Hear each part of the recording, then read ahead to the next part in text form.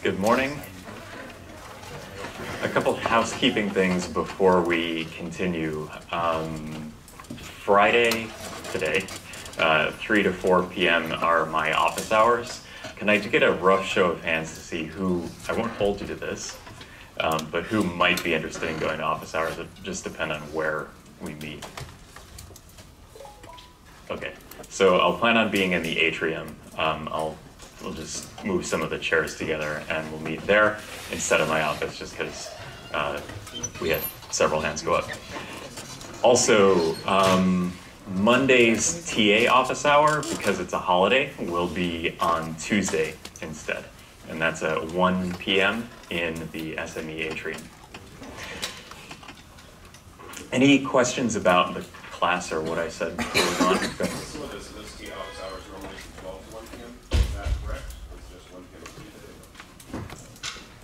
You want to do it at what time? 1 p.m. Tuesday works better. 1 p.m. Tuesday. And if you Just guys- this next week only. Generally, this is. Generally, the syllabus will be correct, but next week, 1 p.m. SME atrium. Okay, anything else? Cool. So uh, last time we ended class with a discussion of what happens when light interacts with a molecule or a nanoparticle or a surface or a semiconductor. A lot of different things can happen. Um, and it's the basis of why things look the way they do. It's the basis of technologies like uh, anything based on uh, spectroscopy, anything based on um, based on colorimetric changes in a, in a nanoparticle in response to, uh, say, uh, drug levels or, uh, say, a pregnancy strip or anything that involves light matter interactions. And in general, three things happen scattering, absorption, or nothing. And with the exception of nothing, scattering and absorption can be further subdivided into a, a couple of different categories. So we talked about scattering, um, elastic scattering, Rayleigh scattering, where a uh, where a photon transiently polarizes an electron cloud in some particle, molecule, or object, and then upon depolarization of that uh, that um, uh, that uh, electron cloud, photon is re-emitted at the same wavelength as the incoming photon. So that's elastic scattering. Inelastic scattering is where you have some molecule or uh, or material or nanoparticle or surface that has some uh, some vibrational state associated with some uh, some part of it. So molecule is vibrating, and then a photon comes in, and the the vibrational state of the molecule changes. Um, often it, it can either lose energy or increase in energy. Um, the the one that we normally see, um, a, a uh, what's called a Stokes shifted process. Don't worry about, uh, about memorizing that. Um, what happens is the molecule increases in vibrational frequency and the photon therefore loses energy.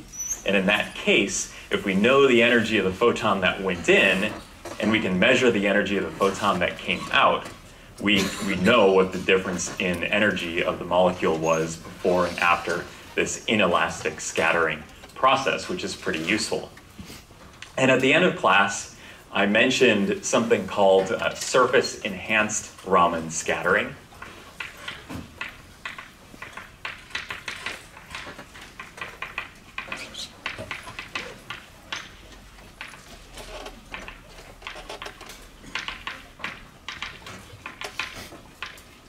Or SERS, which is really a quintessential nano nano engineering phenomenon or phenomenon that's that's useful in nano engineering. And I wasn't going to, to go into details on this. I just wanted to say what it was, but because there were some questions about it after class, I thought I would just uh, uh, elaborate for a minute. If you have a surface of some metal,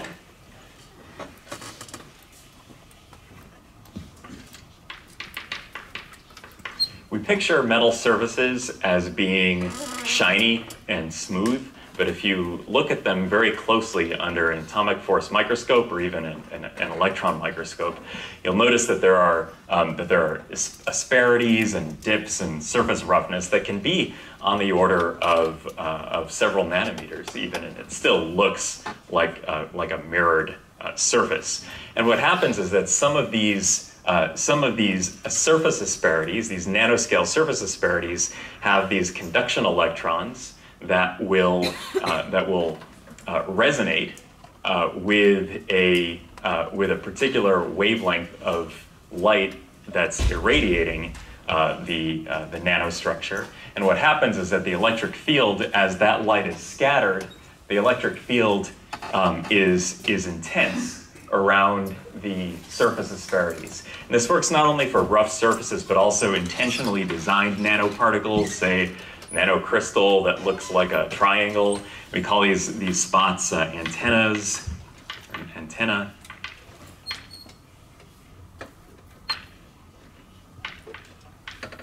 I don't know how to spell it. Antennas, antenna, and what happens is that when there's a molecule in the vicinity of, uh, of, of, one of these um, one of these metallic nanostructured surfaces or particles, uh, the the Raman scattering, the probability that a molecule will undergo Raman scattering goes way up by many, many orders of magnitude. So, uh, so this can be used as a spectroscopic technique.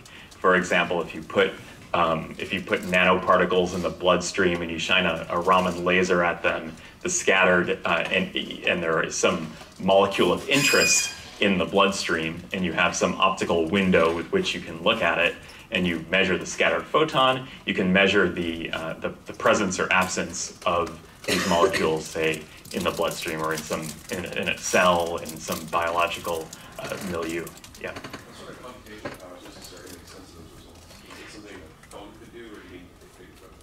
That's a good question. So the, the question was, uh, what sort of computational power would you need to make sense of those measurements? Um, it depends on, probably depends on your the time resolution that you need. Um, in general, the uh, the wavelength resolution doesn't really produce that much data. But if you're if if you have many many signals, it probably requires some serious uh, deconvolution. Um, that's a good question. I haven't really thought about it. Okay, so absorption. Absorption is uh, is can of, of uh, electromagnetic energy can be accomplished through a few different uh, molecular mechanisms. In the low energy regime, we have rotational and vibrational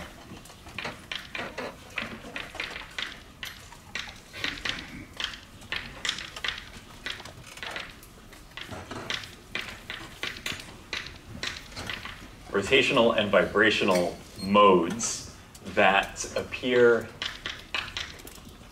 in the IR. And these are quantized differences in literally the frequencies at which, or the, the, the, um, uh, the, uh, the oscillations of electron density in a, uh, in a molecule uh, can, uh, can go. So for example, um, you have some modes that are higher in energy than, uh, than others. So molecules will, the nuclei and molecules will shake back and forth, but if you have a more complicated molecule, you might have bending and breathing modes too, and it takes certain amounts of energy to get from, uh, it takes quantized amounts of energy, so that is set set uh, differences in energy to get from one vibrational mode to another. And we can use that in a type in, in vibrational spectroscopy. In fact, surface enhancers, the Raman scattering in general is related to vibrational spectroscopy, and you can actually access some of these modes using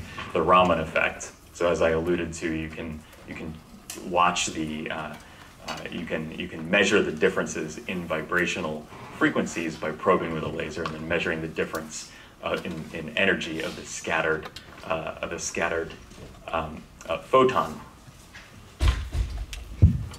electronic absorption is more familiar to us as a day-to-day phenomenon because things have uh, things have colors, and that's largely a result of uh, electronic absorption.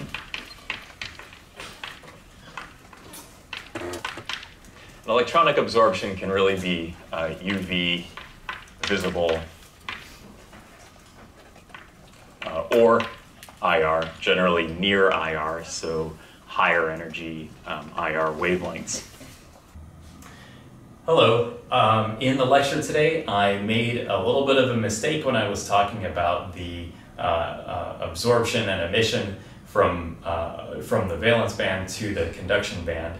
Um, I actually have the, the nomenclature backwards, and I think I said it wrong a few times later on in the lecture. I'm sorry about that. Uh, I hope to, uh, to make amends uh, right now and make sure that I explain it correctly.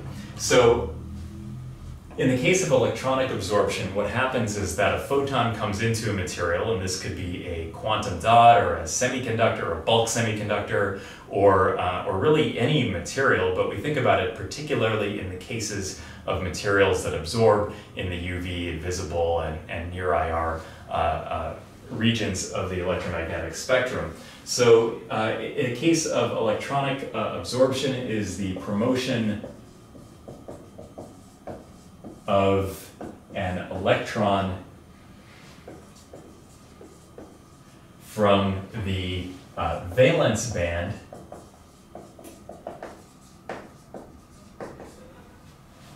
to the conduction band.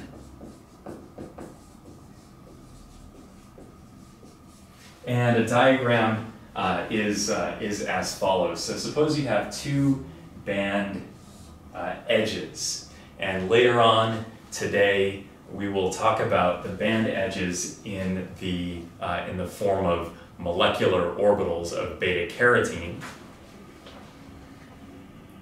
And we have an electron here, and this is the valence band, and this is the conduction band. And what happens when a photon comes in, and a photon is given the signal, of the symbol um, h nu, where this is Planck's constant, and nu is the frequency of the photon.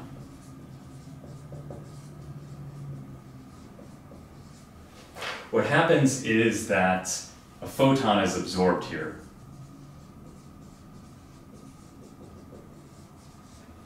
And the next state that we have leaves a hole sometimes called little h with a plus. This is not Planck's constant, and it's definitely not a hydrogen ion. Um, it's a, it's a, a, hole. Sometimes it's called an electron hole because an electron is missing uh, from the, uh, from the, from the, uh, from the valence band. And the electron is now somewhere here in the conduction band.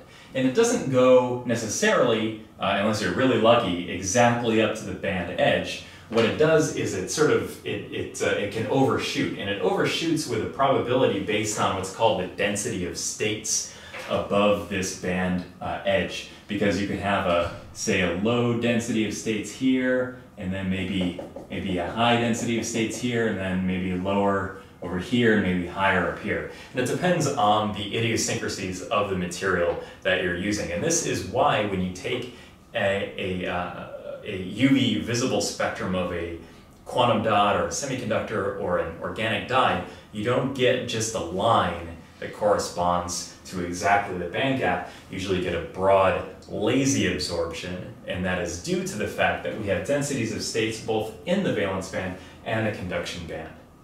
So what happens after absorption, typically, is that this electron is high in energy, and usually over a very short time scale, it will, uh, it will kind of find its way to the band, uh, to the band edge. And we call this process thermalization.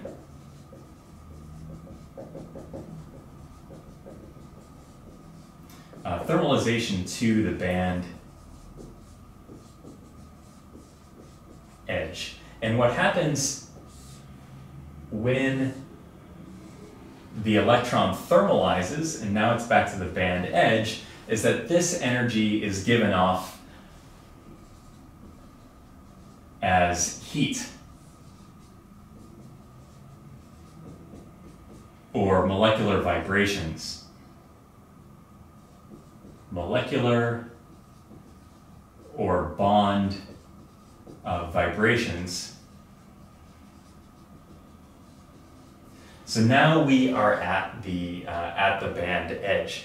And this loss in energy here is important to, uh, is, is important under understanding why a fluorescent photon, and we'll get to that in a second, has less energy than the photon of excitation under normal circumstances. So then what happens is, uh, is emission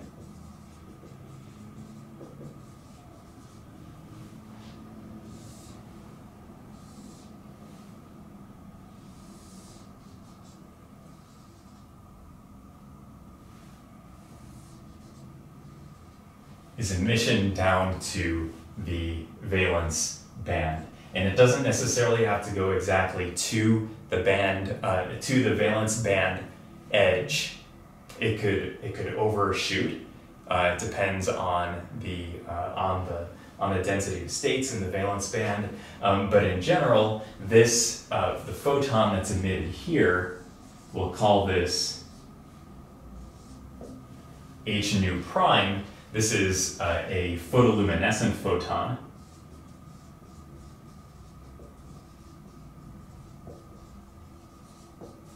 Photon. And this could be one of two types of photoluminescent photons. It could be a fluorescence event.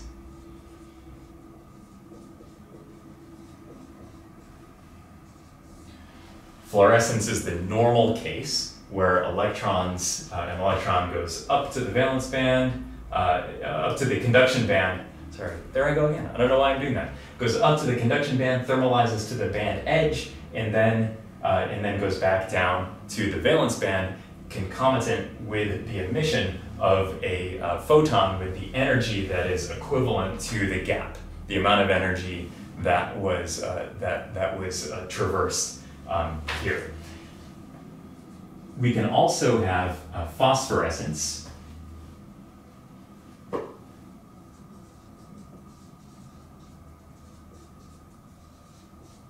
And I won't go into details onto phosphorescence. Uh, you can read about it uh, on your own if you'd like. But basically, what happens in phosphorescence is that somewhere up here, the electron changes its spin. So spin, it could be spin up and spin down. When electrons are in the same molecular orbital or the same, uh, the same, um, uh, the same band, uh, they and occupy the same energy, they can't have the same spins. So they have opposite spins. But then when one electron is promoted to the uh, to the conduction band, it can some event can happen, and some materials are better at doing this than others that the, uh, the, the spin can, can switch. And now it can't, now it can't go down again. So it has to, uh, so there's some uh, long process that it takes in order for the, for the spins to, uh, to be uh, anti-parallel again so that the electrons can, uh, the electron can go back to the valence band. And that is a, uh, can, is a long process in phosphorescence, and for some materials, phosphorescence can take place over the order over the time scale of minutes. It can take minutes for the electrons um, uh, in a phosphorizing compound to return to the uh, to the valence band, and that's what uh, that's the basis of glow in the dark materials. So some of you may have had, uh, I did, um, have those stars, uh, those glow in the dark stars on your bedroom ceiling, uh, and then over um, over the course of the night they slowly um, they slowly uh, die down to uh, to nothing. So um, so this is uh, this is electronic uh, absorption.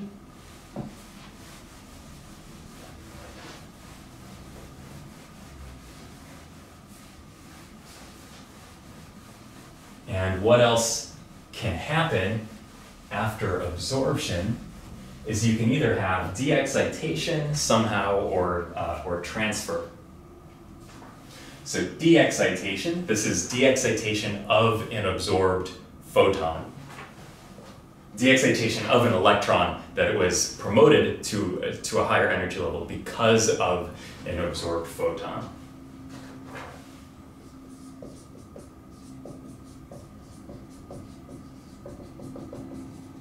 De-excitation has a couple of routes that it can take. Non-radiative.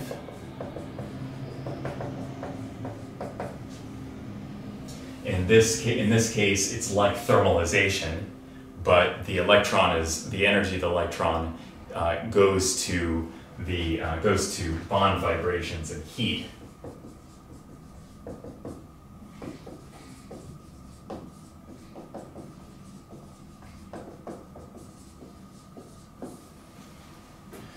Or you can have what are called radiative uh, de-excitation, which is photoluminescence.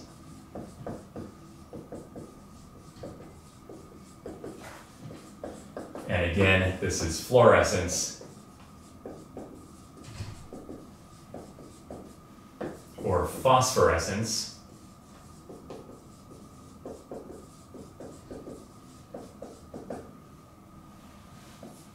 Or you can have transfer.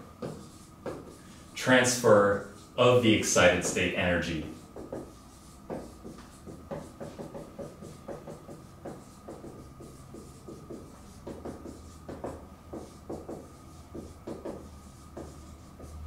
Transfer the, of the excited state energy can happen in a number of ways. For example, if you're up in the conduction band and there's another species nearby that has uh, that has a, a, lower energy conduction band, the electron can go from one conduction band to another conduction band, and then and then so on down. Um, these types of uh, of uh, transfer processes are the basis of how photosynthesis works and solar cells work, um, and, uh, and and and so that's something that can happen. You can transfer uh, transfer the energy. You can also have re-emission. Um, emission of, of a photon and then absorption of the photon by another, uh, another species, or you can have uh, the wave functions of, of one, an excited chromophore and a, and a ground state chromophore. And by chromophore, I just mean a system of, of, uh, of, of valence band and conduction band um, uh, systems that, uh, uh, that absorb light. So chromophore, chromo color, um, so what you can have is the wave functions of an excited state chromophore and a, de- and and a ground state chromophore overlap, and then you can actually transfer the energy from one to another without involving the uh, emission of any photons uh, whatsoever. And the third alternative um, is that uh, nothing happens. So nothing happens when a photon comes into contact with some, some matter, um, there's a probability associated with uh, what's called the absorption cross-section of the material, which are not the same for every, uh, every structure. That depends on the details of the, of, the, uh, of the molecular quantum mechanics, and don't worry about that for, the, for our uh, purposes. All right, thank you. Back to the classroom. Okay, let's use what we have learned about emission, absorption and, and emission to answer the question, why are carrots orange? Of all questions,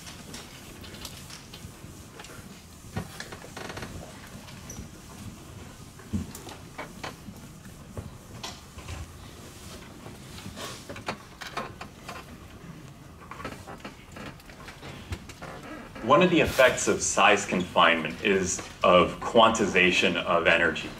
And in fact, when you have a semiconductor or an organic dye and you shrink it down, you just make it smaller, you remove atoms and stuff, you actually change the allowed energies of a particle confined within that space.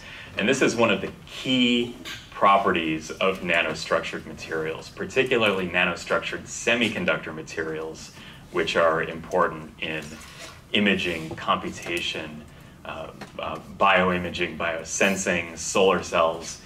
let's say, I'm making this up, 75% of nanoengineering is due to size confinement of uh, electronic structures. Of course, when I get to the bio applications, I'm going to say 75% is due to uh, the ability to interact with biomolecules on the right scale. But anyway, um, this is this is it's a big deal.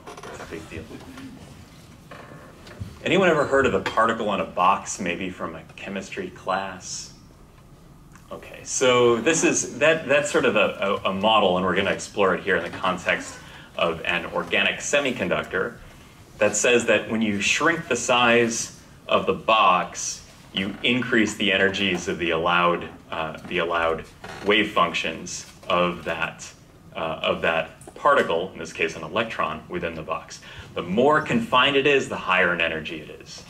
You can think of it like if you're stuck in your house all weekend because of a snowstorm, which they don't have in San Diego, but suppose they did. If you're stuck in your house and you're confined, you start to start to freak out because so you're bouncing off the walls, you have really high energy, and that's what happens. That's what happens to particles. Whereas if you're, well, I don't know, whatever. Okay, confining confining particles.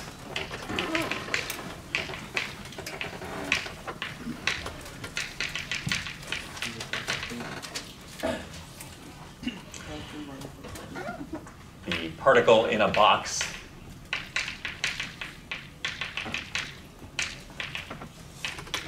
And what we hope to do is answer the question, why are carrots orange?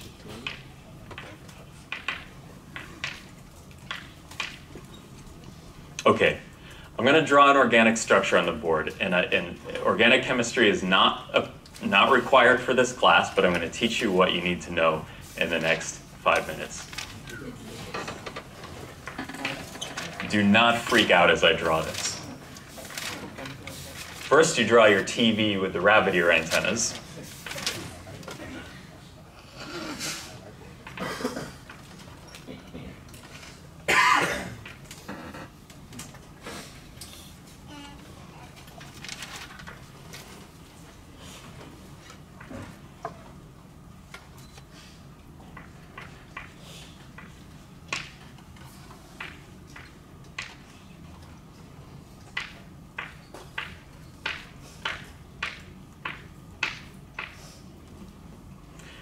This is called beta carotene, called carotene because it was derived from celery. Just kidding. Biosynthetically, what this is derived from is another molecule called isoprene, which looks like this. What on earth do these lines and angles mean? I'll tell you. First, I want to say beta carotene. You can actually make a solar cell out of beta carotene. You can take a carrot and squeeze it and like wring it out like a towel and get the orange juice that comes out, evaporate all the juice, take out all the salts and stuff. You're left with some other stuff too, but a lot of beta carotene. And if you actually put that beta carotene, and assuming it's purified enough in between two different metals and shine light at it, assuming one of the metals is thin enough to allow light through, you can actually make what's called a Schottky photodiode, which is a solar cell. It's going to be a pretty crappy solar cell, but it will work. It will actually, if you had a, like a room of, of carrot solar cells, you could probably power like one hundredth of a pixel on a digital watch, but it would work. And you can make materials deliberately that work a lot better than beta carotene, and therefore, uh, you you know you can power like like a few light bulbs.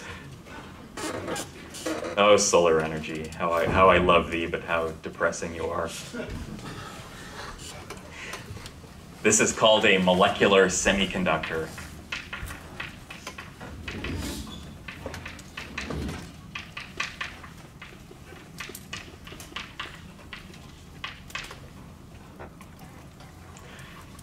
So I want to give you an aside on how to read structures like that. So chemistry to me means transformation of stuff to other stuff and where electrons go from one molecule to another. But just to be able to read an organic structure, you don't need to know anything about chemistry. It's just like reading a blueprint. So this is an aside on organic structures.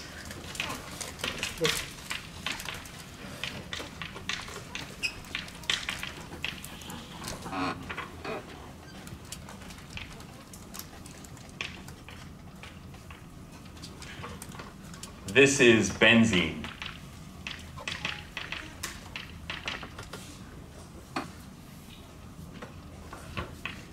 What does this really mean?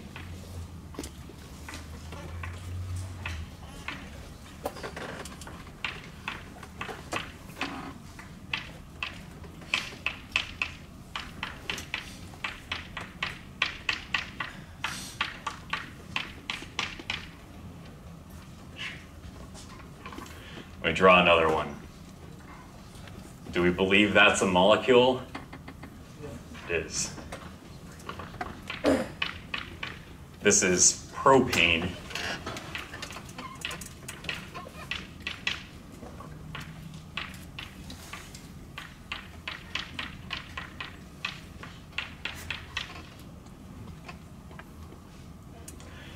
And what did we do? Each kink here is a carbon atom. All the kinks in the structure are carbon atoms. So all the all these vert, vertices are carbon atoms. Each carbon atom has four things bonded to it. If we didn't draw all the things that are bonded to carbon, then you assume that the missing elements to which carbon is bonded are hydrogen atoms. And those rules describe how we get from here to here. So the kinks and, uh, and uh, termini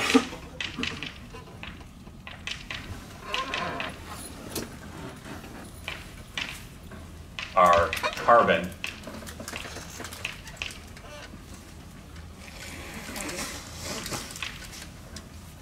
Carbon has four bonds. The third rule is that hydrogen atoms are not, the H's are not drawn.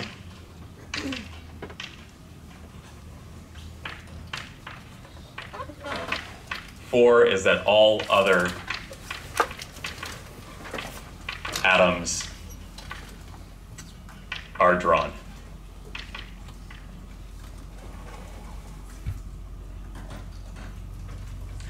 It's ironic that organic chemistry can be considered, organic structures can be considered the structures comprising carbon and hydrogen, but it's ironic that carbon and hydrogen are the only elements that we don't draw.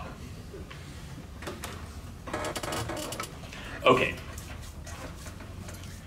Beta carotene has a particular molecular structure which has these alternating double bond, single bond, double bond, single bond, double bond, single bond, all the way across the molecule.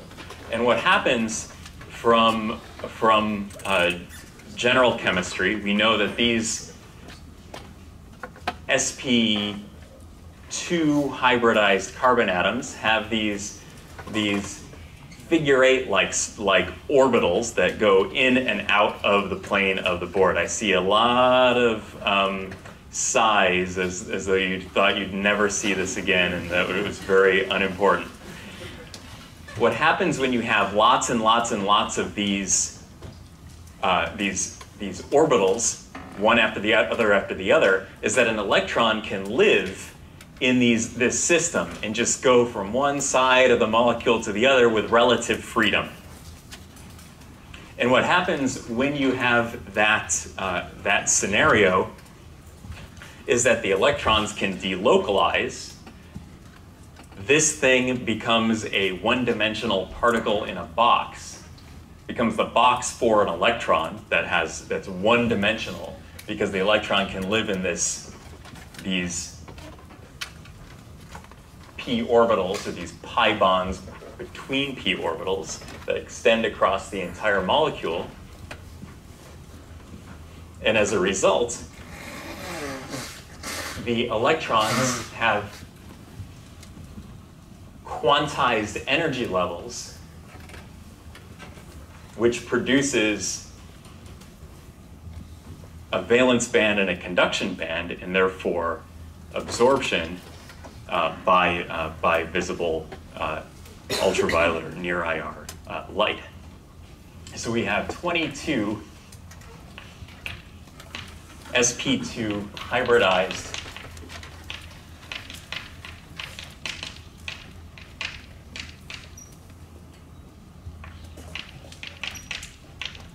carbon atoms. And in each one of these carbon atoms, it contributes one electron each into this system of, of what's called pi conjugation, which just means alternating double single, double single, double single bonds. So we have 22 pi electrons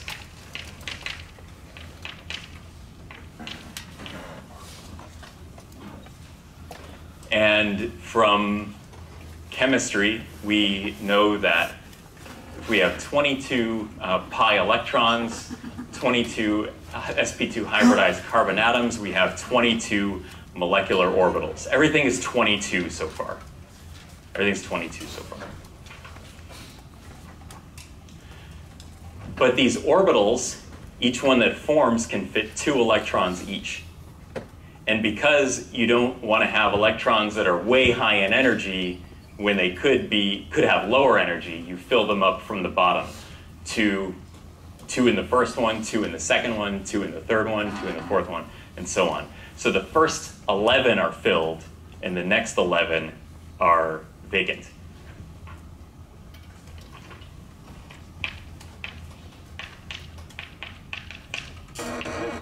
So we call these 11 uh, bonding molecular orbitals.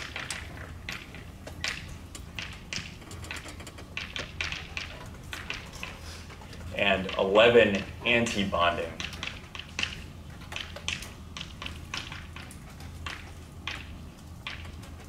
MOS, molecular orbitals.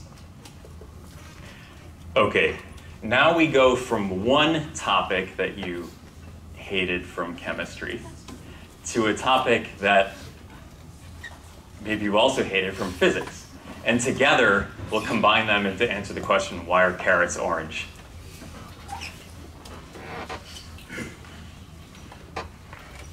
This is a one-dimensional box. It has sides that are infinitely tall, and the potential energy on the outside of the box is infinite.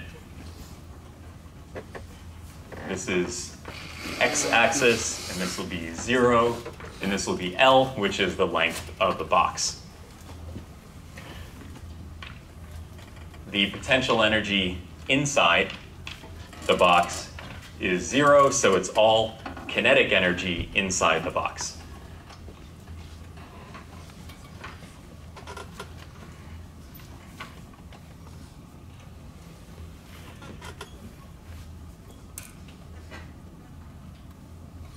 Schrodinger equation. What goes in the box? There's, there's, there's no other way to say it. Schrodinger equation, okay. Not everybody's favorite topic, but here it is. It's the basis of why everything works. Something about a cat, I think.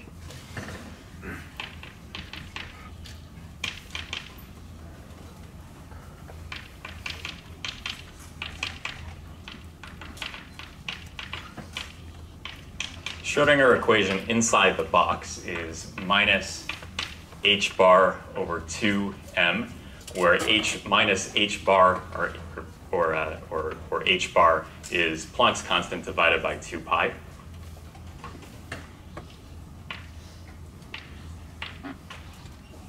times the second derivative of, of psi with respect to x, which is called the wave function.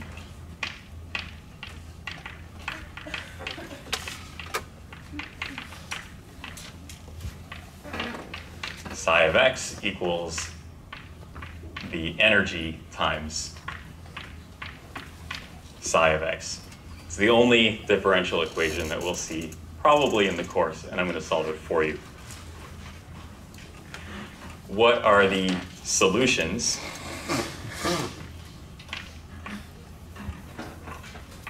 Well, what function is related to its own second derivative, but a but a ex exponentials can be uh, also sine, sine, and cosines. We have psi uh, uh, sub n of x equals the square root of 2l over sine n pi x over L. And the energies associated with these wave functions, the E sub n's, where n is uh, an integer uh, greater than or equal to 1, E sub n equals h squared, h is without the bar this time, n squared over 8 m l squared.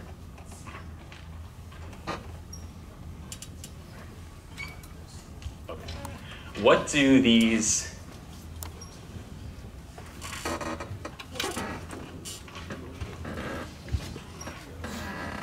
wave functions look like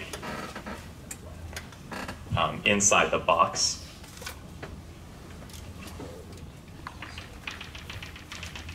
For n equals 1, we call this the ground state.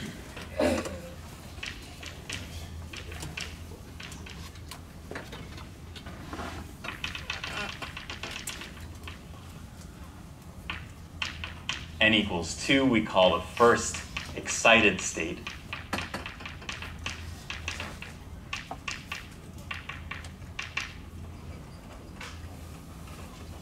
This is like an elevator in a hotel. n equals 2 is the first excited state. Just like when you go into the elevator in a hotel, they don't call the lobby, the they, they call the lobby the ground floor, not the first floor. Same convention in quantum mechanics as hotels. Unlike hotels, there will be a 13th floor. So this is uh, psi 1 in the ground state. Looks like this. Psi 2 has two bumps, just one period of a sine wave with one node in it. And psi 3 is somewhere up here. Because of the square dependence on the, uh, on the n, the spacing between the levels uh, increases as we, uh, as we increase the n.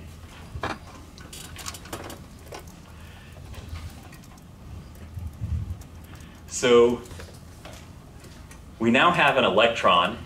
We're considering, well, we have 11, or we have 22 electrons in 11 bonding orbitals, which is psi 1 through psi 11 in this picture.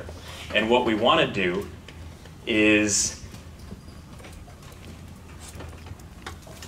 consider the lowest energy electronic transition that we can get, which is equivalent to bumping an electron up using a photon from psi 11 to psi 12.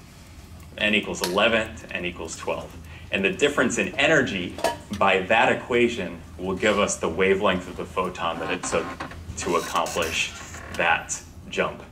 The wavelength that it took to uh, accomplish that jump will be related to the color that the carrot appears.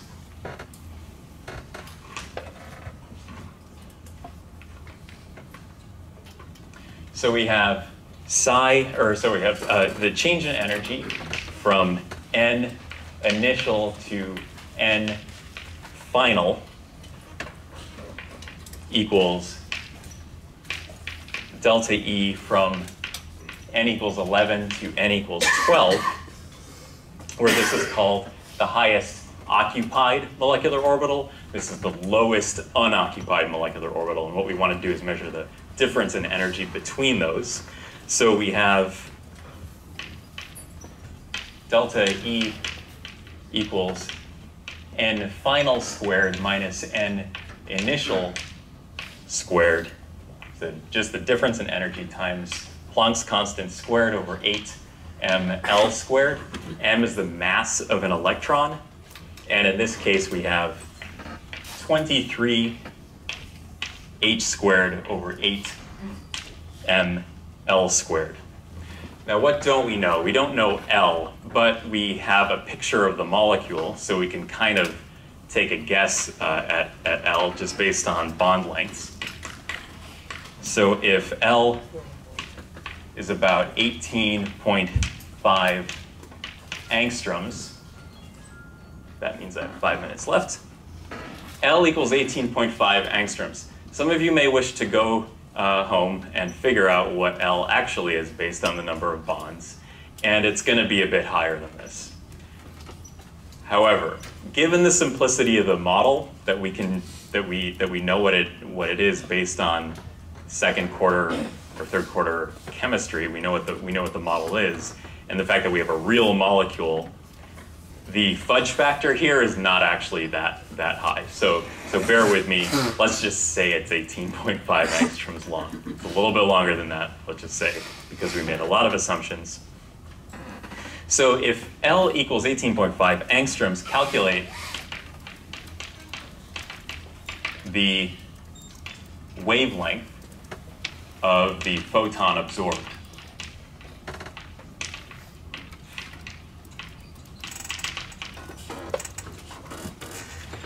So delta E equals H nu, which also, so nu equals C over lambda, which is nu equals HC over lambda, where this is the speed of light.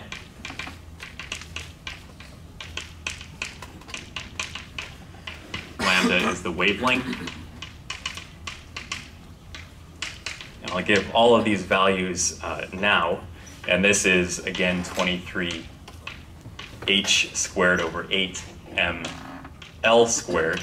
And solving for lambda instead, we have lambda equals 8 m c l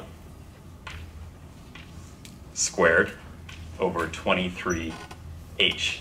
Now, if we add all the numbers in,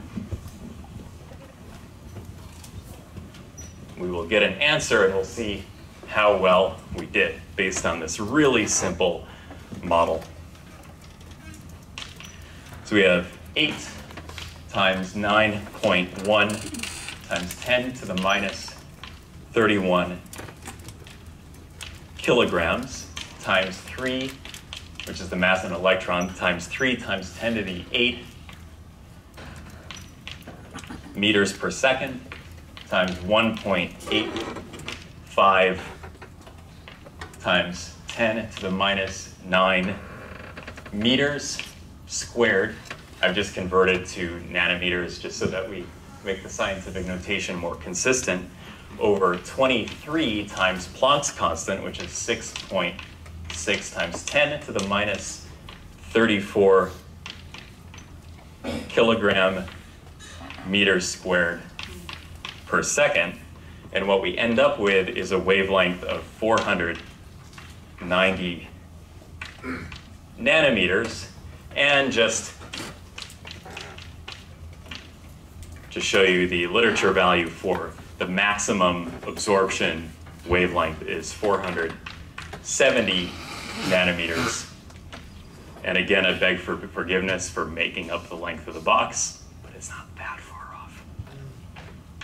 Or 2.5 electron volts. Electron vo- volts and nanometers are related by the factor 1240 EV nanometers. So divide one by the other, one or the other, to get the other. If that makes sense. Okay, so why do carrots appear orange? If we draw our Roy G. Biv color chart, swear I'm almost done.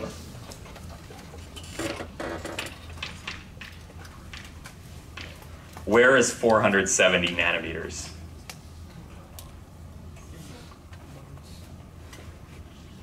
Say somewhere around here, somewhere in the blue, uh, in the in the the low energy blue range, close to uh, close to green. So if we absorb here,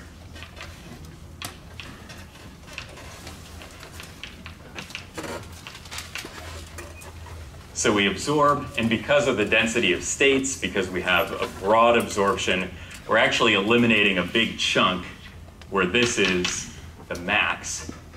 And what are we left with? But mainly red and orange colors that are scattered. Scattered uh, diffusely, which is why carrot, because it's not a regular mirrored surface and doesn't look like a like a mirror. It's scattered and reflected, mostly scattered light. And what photons are scattered? The ones that aren't absorbed. So these ones. And that's why carrots appear orange.